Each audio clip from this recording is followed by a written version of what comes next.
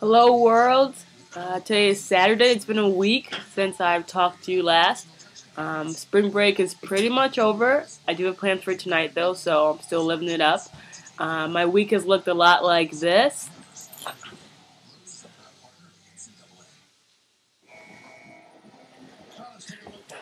And a lot like this.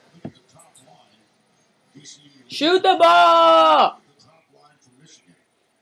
So pretty pretty relaxed.